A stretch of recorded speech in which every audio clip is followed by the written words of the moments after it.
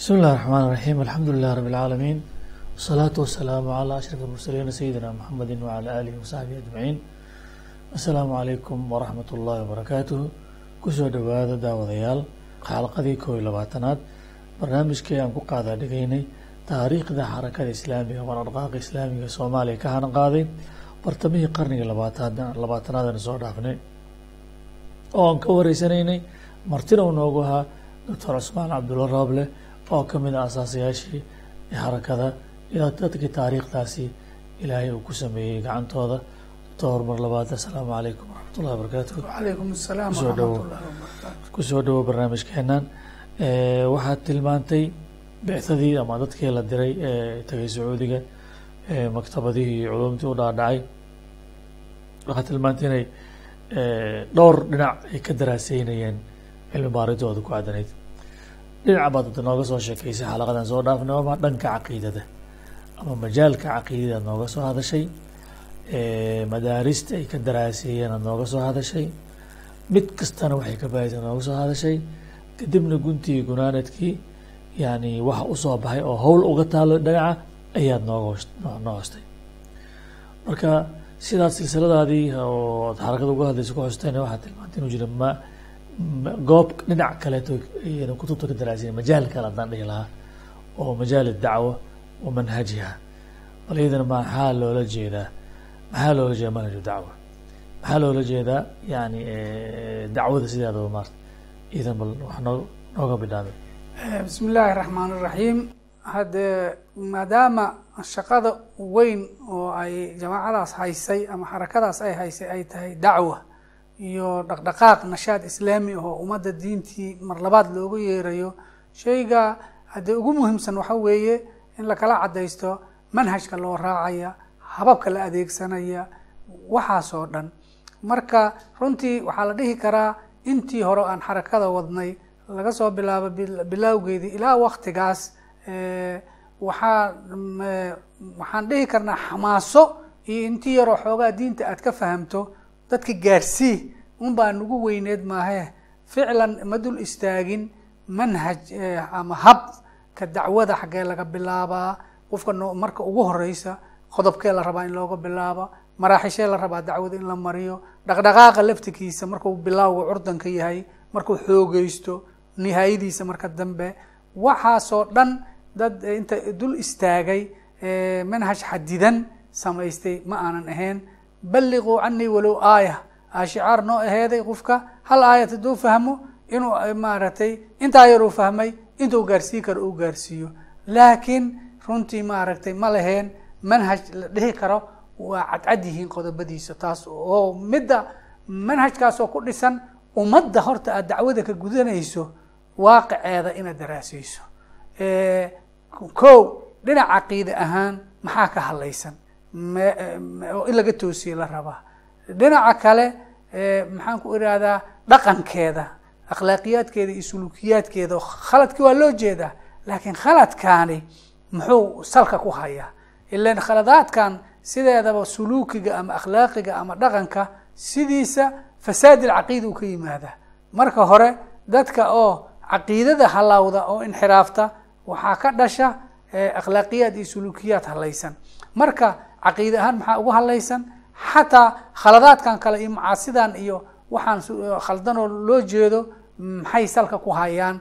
Oo haddii aan la daweynin nuqdadaas cudurka meeshuu ka jira haddaan la daweynin marna aan la daweyn karaynin midaan banaanka taalo dhinaca kale xataa markii laga fiiriyo xugumkii iyo nidaamkii inkastoo aad ay dhalinyarada uga cadcadeed sidaan horeyba ugu soo sheegnay waxaan maaragtay eh, qawaaniintan iyo dasaatiirtan iyo waxyaalahan la degsaday inay tahay oo kitaabkii ilaahay la tuuray inay eh, eh, aad iyo aad u khaldan tahay. Haddana shucuubta kuwaa dawaaqiidda u sacbinaysa oo raalli ka ah oo raacsan oo ayaga laftigooda nidaamkaas doorasho haddii la galane ku soo dooranaho nuguwada nuguwada dhahaya.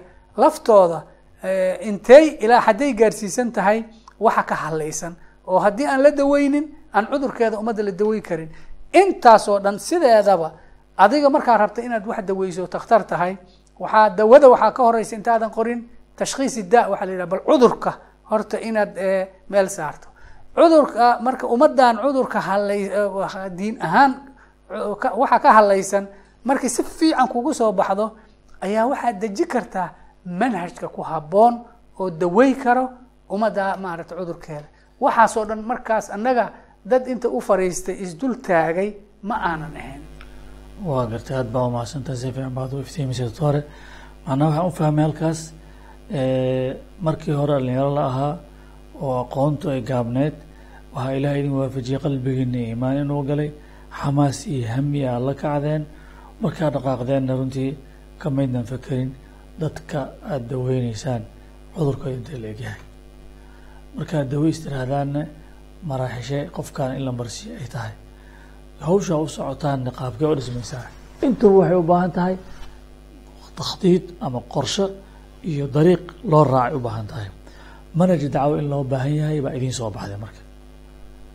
Marka xagee u marteen marka manhajkaas ficlan raggii aan dirsanay waxyaalahay aada u danaynayeen waxaa ka mid a markiiba inay maaragtay bal manhajka dacwadan hadda socoto bulaashay oo loo jeeda miraheeda la raba markaan in usus loo sameeyo marka tirirkii ay ku taagmi laheed dhidibada loo aaso xagga manhajka waxyaalihii aada u xiiseynayeen ka mid aheed oo xataa markay xarakaadkaas soo wada marayeen ay soo wada marayeen waxyaalaha sida gooniga ah ay u daraaseynayeen waxaa waaya manaahiijta xarakaadkaas ma garatay oo tu waliba maxay ku fiican tahay maxaase ka hadlaysan? Culummada markay maaragtay wax weydiinayaan ama la niqaashayne meelaha ay wax ka raadinayeen taasaa ugu laakiin nasiib wanaag waxaaba meeshii looga tegay kutubo badan oo ka sheekeynaya manhajka dacwada oo in la mara ay tahay. Aad iyo aada ugu sheekeynaya oo aysan hadda ka hor arkin ayay meeshii ka heleen. Haddee waa lagu degmaday kutubtaasaa lagu degmaday iyadoo la raadinaya manhajka dacwada maxaa naga hadlaysan maxaa in la saxa ay tahay? Maxaa in lagu soo kordhiya ay tahay? Waa gartay. Waxaa ma iga sheegi kartaa marka kutubta iyo maraajicda ay muraajaceynayeen runtii markii ay manhajkaasi dooranayeen oy oy ay akhrisanayeen. Maxaa ka mid ah macnaha? Hadda halkaan laguma soo koobi kara maxaa yeelay culummada xarakada xarakaadka islaamiga mujadidiinta ah oo u kacay waa waxyaala meelaha ugu badan oo ay wax ka qoreen ayaa maaragtay manhajka dacwada. Ah waxyaalaha marka maxaan ku idhahdaa aad iyo ayaga u soo jiitay waxaa weeye siirada kutubta khaasatan siiradii rasuulka salawaatu ullahi wasalaamu calayhi oo ka soo saaraya manhajka dacwada oo luqadan casriga ah habka hadda maanta wax loo fahmi karo lagu jaangooy karo. Maadaama ay tahay rasuulka salawaatu ullahi waslamu aleyh tajrubadii saxda eedoo intuu eber ka bilaabay ilaa dawla islaamiya qawiya laga dhiso maraaxil la mariyey. Kutubta markiiba aad ay ugu faa'iideysteen waxaa ka mid ahaa uu soo jiitay indhahooda almanhaj alxaraki lisira nabawiya ma garata oo profesor jaamacaddii ka mid ah wax ka dhigaa jaamacaddii umulqura uu qoray oo munir khadbaan ninkaas maaragtay ikhwaanka suuriya ka mid ahaa. Oo runtii waxyaalaha ugu weyn oo kitaabkaas maaragtay uu soo bandhigay ay tahay horta ko in marxaliyati dacwa inay daruuri tahay. Dacwada maraaxil isdaba joogto oo marxalo kastaba ay leedahay maaragtay wasaaisheeda habkeeda iyo waajibaadkeeda ay leedahay. Ma garatay in la oo weliba marxalo kastana hababka la adeegsanaa hab ee u dhigma xaqiijinta marxaladaas ahdaaftii la raba in la xaqiijiyo. Waa ko haye kitaab kale oo tawfiiq barakaat ninkii la dhahay oo isagana ikhwaanka suuriya ka mid ahaa uu qoray oo isaga oo laakiin wuxuu ka soo ururiyey ay tahay kutubtii sayid qudbi kitaabka cinwaankiisa uu ahaa sayid qudbi khulaasata xayaatihi manhajuhu fi lxaraka wanaqd lmuwajah ilayh. Oo manhajkii sayidka kutubtiisa uu ka soo khulaaseeyey hab qodobaysan oo manhaj la raaci kara le uu ka ka soo saaray isagoo ka jawaabay waxyaalaha lagu eedeynaya sayid qudbi oo aan saxna ahayn isagoo iyada lafteeda ka jawaabay. Sidoo kale axmed fais oo isagana ikhwaanka maaragtay suuriya ka mid ahaa oo isagana kitaab dariiqi dacwa fi dilaal qur'aan. Khaas ahaan dilaalka maxaan ku idhaahdaa ka soo sayidka qeybaha dacwada rasusha uu aada uga hadlayay habab iyo oo ka soo saaray manhajka dacwo haddii la rabo in la qaado.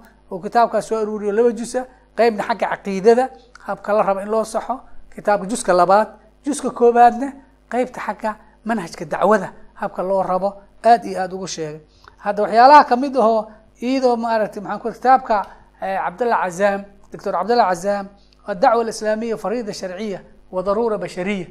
Oo ficlan uu cabdullaahi cazaam ku soo bandhigaya xarakaadkii jiray markaas saaxa alislaamiya to weliba qeybta iijaabiyaadkeeda iyo qeybta salbiyaadka. Waxyaalahay ku wanaagsan tahay oo laga faa'iidaysan karo iyo waxyaalaha ay ku liidato. Arrimo muhiima waa arrimahaas oo kale oo runtii maaragtay soo bandhigay.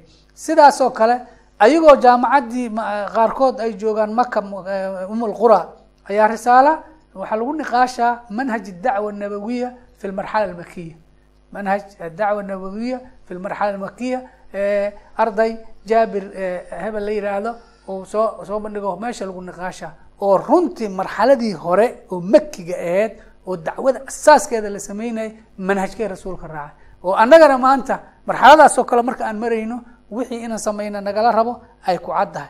Sidoo kale haddaan ka ka tagno mawduudi kutubtiisi iyo turaadkiisi waxyaalaha ku cusub oonan markaa hori noo soo gaarin oo xagga ay kala kulmeen xagga manhajka kitaabkan cajiibka oo minhaaj alinqilaab alislaami oo ustaad mawduudi oo ku soo bandhigaya sideedaba isbeddelka islaam oo la rabo manhajkee dariiqee loo raaca oo si cajiib leh ugu soo bandhigay. Ma garata maxamed qudub oo saatidadii jaamacadda macalin ugu ahay hadda kuliyat caqiida kitaabkiisi waaqican almucaasir oo waagaas ba alifayey oo inta meesha jooga uu ku alifay. Takhasus inta tafaruq inta loo siiyey jaamacadda kitaabka muhimka u amaadadaas uu dhigi jiray. Ma garatay oo ah runtii uu ku taxliilinaya waaqican hadda la joogo oo casrigan la joogo haddii la rabo dacwo in la sameeyo meeshee loo maraa oo weliba uu isku dayey xarakaadka islaamiga oo tii ugu caansaneed oo xataa xarakat ikhwan muslimiina runtii meelaha manhaj maaratay manhajka manhajkeeda uu ka halaysan yahay oo meesha lagu niqaasha waxaasoo dhan kitaab waxaa jira aada maaratay u soo jiitay oo axadi salafiyiin culamaa salaf salafiyiinta mucaasirka uu qoray cinwaankiisa ah alcaqiidatu awalan low kaanuu yaclamuun. Alcaqiidatu awalan low kaan oo ah uu ku ihbaatinaa sideedaba caqiidada haddaan dadka looga bilaabin waxaan kale oo furuucda ah iyo xamaasogelintan iyo wax ka soconaa inaysan jirin maxay keentay? Intaasoo dhan hadee waa waxyaalo ma aragtay aada iyo aada manhajkii dacwada sixidiisii door weyn ka qaadanaya wey. Doctore aada baa umahadsan tahay marka waxaan meeshaa ka muuqato waxaad ogaateen ama dhalinyaradii ama bicdadii ogaatay in uuba jiraba manhaj baaxaddaas leh. Baaxaddaas leh oo saa u kala dhigdhigan oo saa u kala saafan oo meeluu ka bilowda leh oo maraaxil leh oo gun u gaaro leh. Waa runtii arrin badan bay ahayd oo in la fiiri ay tahay. Arrintaa marka haddana waxaa la helay hada zakhm yani waxaa taasoo kutub oo laga qoray oo la tilmaamay. Qaar ka mid a sheegtay qaar kaloo fara badan hadda yani aan sheegi karno runtii jazaaka allahu khayran. Marka aye saa marka aragtay natiijada ay gaareen xagga manhajka maxaa u soo baxay. Waxaan ku soo koobi karaa runtii waxyaalaha ugu waaweyn oo u soo baxay oo xarakadoodina dib markay u milicsadaan in lala gaaro oo la saxo ay keensan doonto marka dambe oo isbedelada ay imaanayaan baan insha allahu faahfaahi doonaahe. Waxaan ku soo koobi karnaa qodobadana horta in caqiidada in laga bilaabo ay daruuri tahay. Oo aan dadka furuucdan kale iyo akhlaaqdan iyo dembiyadan iyo maaragtay munkaraadkan juz markiiba fooda lagalaho laga dagaalamaya inayna waxweyn keenin qofka iskaga noqonayo aan lagu dhumin. Oo horta sida saxda caqiidada laga bilaabo. Qodobka kale in marxaliyati dacwa dacwada in la mariyo maraaxil inay daruuriya tahay. Oo marxalo kastaba ulajeedooyin xadidan in la isticmaalo ay tahay.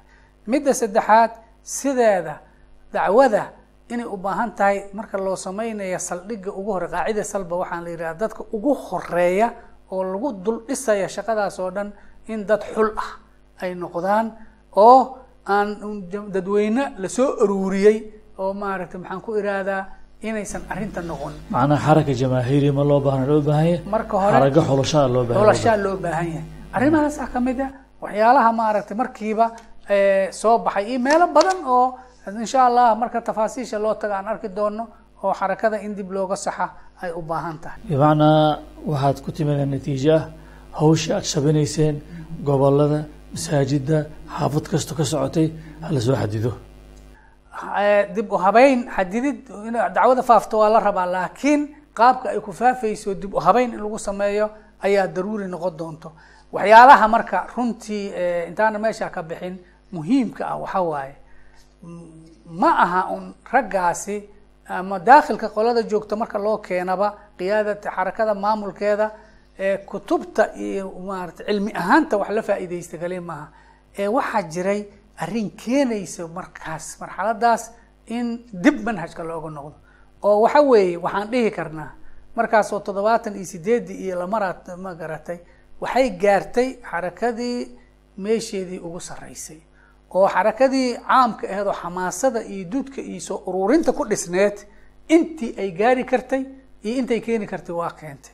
Waxaa la dhihi karaa istanfadad akhraadaha waay l wixii ulajeedooyinkeedii waa dhamaystiratay oo waxaaba bilowday saacaddaa laga bilaabo hoos u dhaci oo inuu hoos u dhacaas runtii bilowdayne waxaaba mithaal ugu filan xoogaagii yaroo qolo maaragtay dhow ay bilaabeen inay khilaafaad jamaacadii dhexdeeda ay ka sameeyaan afraadii kaleo xarakadiina ay wax saameeyaan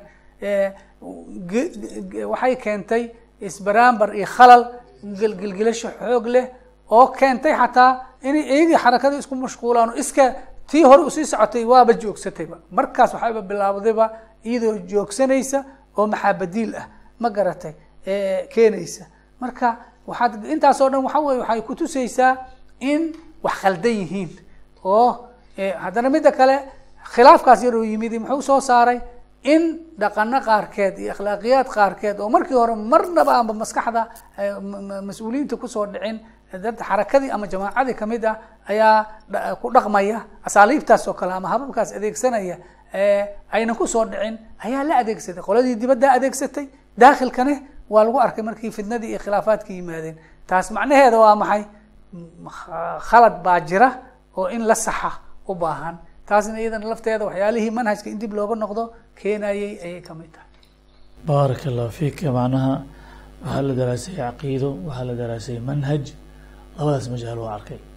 Ama labada dhinac dhinac kaloo saddexaad ayaad xustay oo ah in loo baahan yahay in la daraaseeyo tarbiya aliimaaniya marka maxaa loola jeeda tarbiya aliimaaniya taas xoogaa waan soo gaabinayaa warkeeda oo dhinacna waxa weeye haddii xagga tarbiyada iimaaniga ah waxaan la dhihi karaa meelihii lagu fiicnaay ayay ka mid ahayd xarakadan bilowgeediba waataan aada uga soo sheekeyneynay dadkaas islaamka si jiddiyala u qaatay isu dhiibay diyaar diyaar u ah.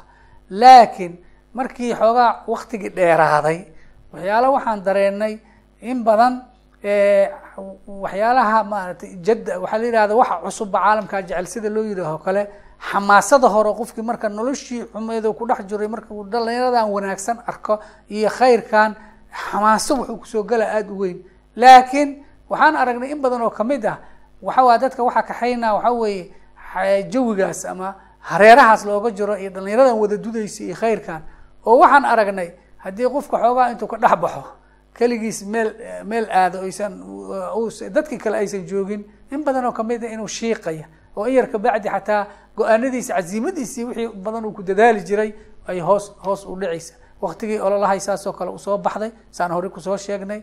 In badan oo ka mid a markay jismigii xarakada ka dhex baxaan oy meel kaligoo tagaane in badan oo ka mid a cuduradaas baan ku aragnay. Marka taasi macnaheeda waxa weeye in loo baahan yahay manhaj tarbawi ah oo asal ah oo waxa ugu muhiimsan ay tahay in qofka lagu xiro iltizaamkiisa islaamka inuu waxa islaamka uu faray sidai u tahay uu sameeyo inay caqiidada ku xiran tahay. Iltizaam islaami iyo akhlaaqiyaad caqiidada ku xiran oo qofka uu dareemayo mujtamacii jaahiliga ahaa uu ka soo baxay uu ka soo baxay dhaqanadiisii iyo wixiisii inay dib ugu noqdo inay dhaawac weyn u gaarsi islaamnimadiisii iyo caqiidadiisii inay dhaawac gaarsiinayso. Saa darteeda in arrimahan ay arrimo ku xiran diintiisa iyo iimaankiisa inay tahay.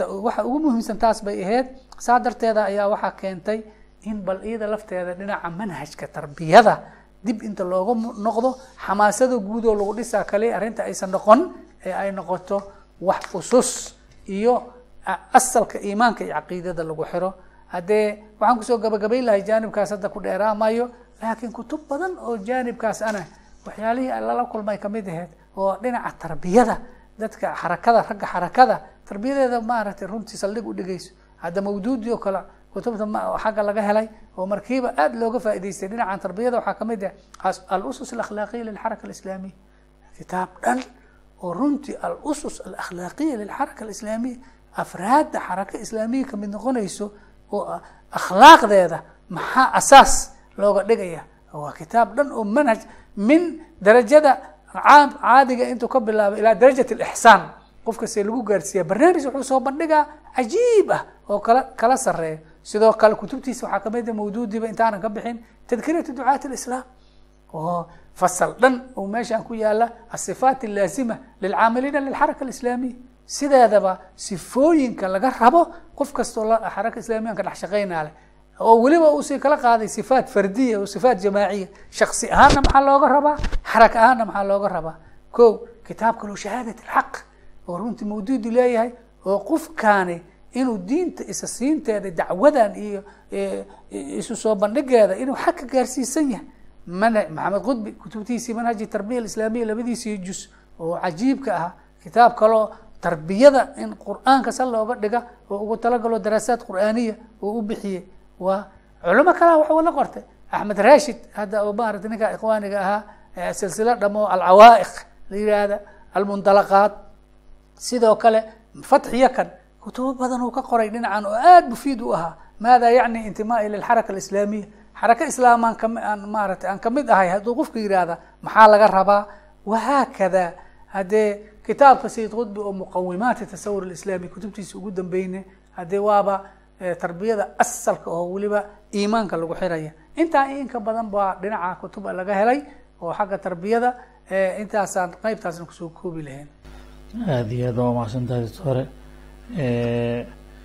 muxuu ahaa barnaamijka caawa intaasuu noogu dhamaanaya waana ficlan waxaa loo baahnaa in la arko oo aada iyo aad macnaha loo sameeyo. Marka guntii gabagabada waxa weeye waxaa lagu baraaruginuu jiro manhaj dadka dacwada loogu yeero dadka markii loo yeero inay u baahan yihiin tarbiyo iimaankooda kor u qaada ku dhaqankooda iyo camalgelintoodana xoojisa.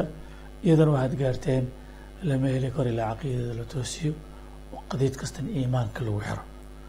Camalkan iimaan ku xirnayna camal istimraari yeelanaya nuusan ahayn macnaha ayaad ku gaarteen runtii waana wax aad aad u qiimo badan. Marka qeybo kalea noo harsan insha allahu tacaala waa qeybaha ay daraasiyeen baxsiin meesha la diray si ay uga faa'iideeyaan waxqabadka iyo waxa sugaya ummadooda inay u qabtaan. Insha allahu tacala aan ka sii doorkii noo noo soo qaada dhigo kulankeena dambe soo socdo ilaan ka gaari doono waxaan leenahay. Asalaamu calaykum waraxmat